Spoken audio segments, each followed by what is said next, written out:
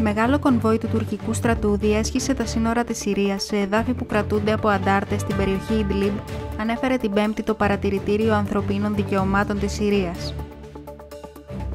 Η ομάδα παρακολούθησης ανέφερε ότι 20 οχήματα που μεταφέρουν υλικοτεχνικό και στρατιωτικό εξοπλισμό πέρασαν από τη συνοριακή διάβαση Κάφρ Λοσίν που βρίσκεται κοντά στην τουρκική πόλη Ρεϊχάνλη.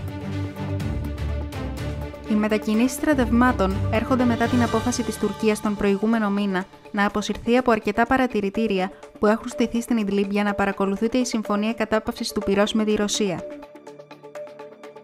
Σύμφωνα με πληροφορίες, η κίνηση πραγματοποιήθηκε εν αναμονή νέας επίθεσης από δυνάμεις του καθεστώτος Άσαντ που υποστηρίζονται από ρωσικές αεροπορικές δυνάμεις σε θέσεις που κρατούνται από αντάρτες στην περιοχή.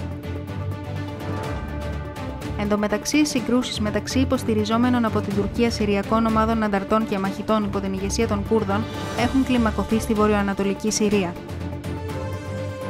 Ενημερωθείτε για τις εξελίξεις στο nemesishd.gr.